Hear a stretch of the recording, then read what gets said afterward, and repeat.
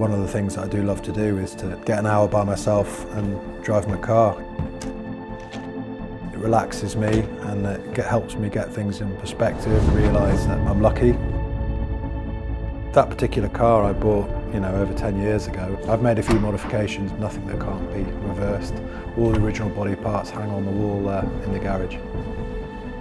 One of my favourite memories from the car was going with my dad down to France to watch some racing at Classic Le Mans. That was really special and something I'll always remember.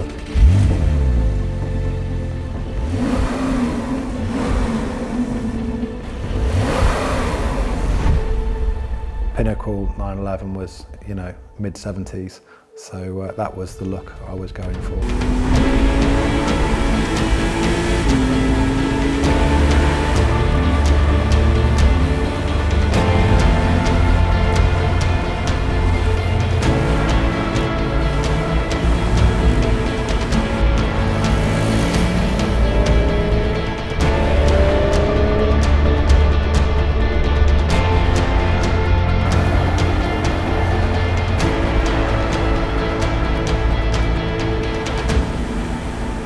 Sometimes if I need a bit of headspace, I like to get in and drive.